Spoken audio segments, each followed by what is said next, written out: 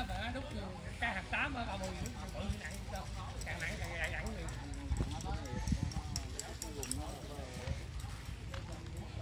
mà nhặt cái máy nó yếu bị đổ đổ nhớ rồi kìa